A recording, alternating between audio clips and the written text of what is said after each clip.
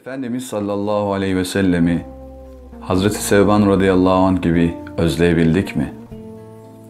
Bir gün Hazreti Sevban radıyallahu anh evinin önünde üzgün bir halde dururken Peygamber Efendimiz aleyhissalatu vesselam onun bu üzgün ve düşünceli halini ona sormuş. Ne oluyor sana ya Sevban demiş. Hazreti Sevban ise şöyle cevap vermiş. Ya Resulallah ben seni canımdan da, malımdan da, her şeyimden daha çok seviyorum. Evde kaldığım zaman seni görmediğimde seni çok özlüyorum. Aklıma bir anda düştü. Medine'deyken senin yanına geliyor, bu özlemimi gideriyorum. Sen hayattasın, ben de hayattayım. Seni gördüğüm zaman da sanki yemeğe doymuş gibi oluyorum. Seni gördüğüm zaman da suya kanmış gibi oluyorum.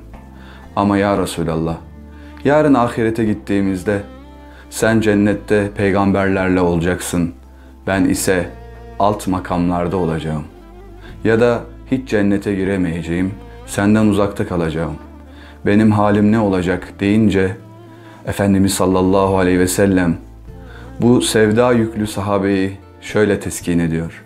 Diyor ki ya Sevban, kişi sevdiğiyle beraberdir. Hazreti Sevban radıyallahu an Efendimizin özlemini kalbinde öylesine hissetmiş ki Efendimiz sallallahu aleyhi ve sellemin sevdasını kalbinde o kadar yüceltmiş ki o bize çok güzel bir ders vermiş. Bu olayın akabinde Rabbimiz Nisa suresinin 69. ayetini nazil eylemiş. Ayeti kerimede Rabbimiz şöyle buyurmuş. Kim Allah'a ve Resulüne itaat ederse işte onlar Allah'ın kendilerine nimet verdiği peygamberlerle, sıddıklarla, şehitlerle ve salihlerle beraber olacaktır. Onlar ne güzel arkadaştır.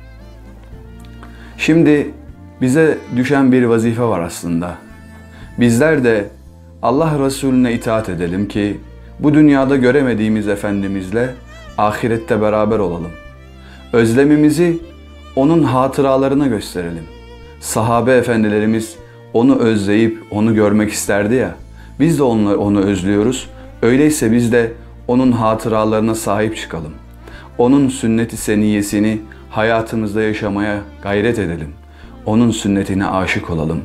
Onun bize buyurduğu üzere bıraktığı iki mirasa, Kur'an ve sünnete sımsıkı yapışalım ve Allah bizi kıyamet gününde sevdiğimiz o güzel insanlarla beraber eylesin.